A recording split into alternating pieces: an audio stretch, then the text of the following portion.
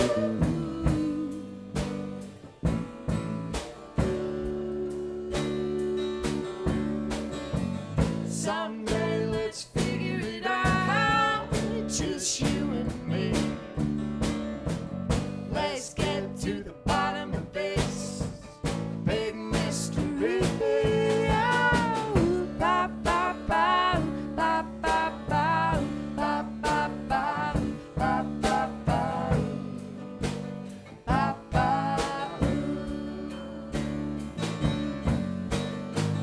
Someday let's figure it out. It's just you and me.